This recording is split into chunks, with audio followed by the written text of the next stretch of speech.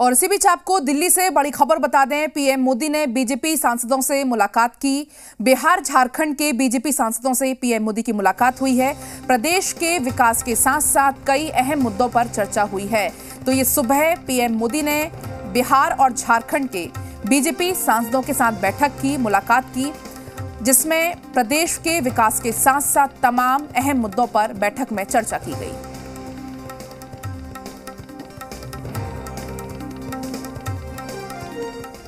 तो दिल्ली में पीएम मोदी के साथ बिहार और झारखंड के बीजेपी सांसदों की मुलाकात हुई। इसमें राजनीतिक हालात के साथ ही तमाम अन्य मुद्दों पर चर्चा हुई। बिहार के अररिया से बीजेपी के सांसद प्रदीप कुमार ने बैठक को लेकर जानकारी दी। उन्होंने कहा कि झारखंड में बीजेपी की स्थिति पर भी चर्चा हुई है।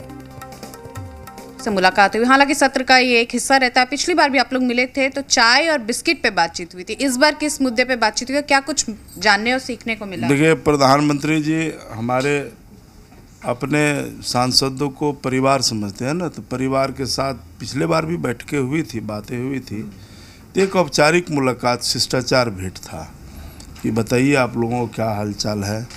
इसलिए चाय, नाश्ता हुआ। और औपचारिक बातें भी जैसे परिवार में गार्जियन जो है अपने बच्चों से बात करते हैं अपने फैमिली मेंबर से बात करते हैं उसी तरह से परिवार की तरह उन्होंने सबसे बुला करके बातचीत किया हालचाल जाना। ऐसे मुलाकातों में ये माना जाता है कि प्रधानमंत्री बड़ी दिलचस्पी रखते हैं हर लोकसभा सांसद के उनके क्षेत्र के बारे में विशेष तौर पर बातचीत करते हैं जानना चाहते हैं क्या कुछ अलग हो रहा कुछ ऐसी बातचीत? नहीं उसने कहा भी कि आपको कोई कठिनाई कोई दिक्कत है तो बताइए। लेकिन स्पष्ट सांसदों ने कहा कि सब ठीक है। आज भारत सरकार द्वारा जो काम काज चल रहा है आपने जो राष्ट्रीय स्तर पर जो योजना स्कीम चला रखा उसका बड़ा लाभ है। कैमरा पर्सन गौरव के साथ नेहाजी मीडिया दिल्ली।